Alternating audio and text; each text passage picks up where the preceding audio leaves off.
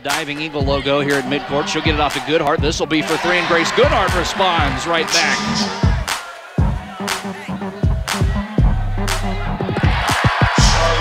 By Terriell Bradley. Bradley bounce pass right between the legs of Smith and inside to George, who finishes it off.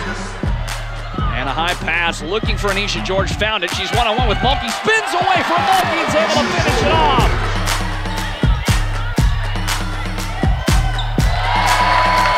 the shot clock, down to three, two. Smith, fadeaway jumper. Got it right as the shot clock expired for the arc. Smith, head fake, driving in. Step back jumper. It's good. Further down low, all the way to the baseline here for Bradley, who rotates up. Now puts up a three and knocks it down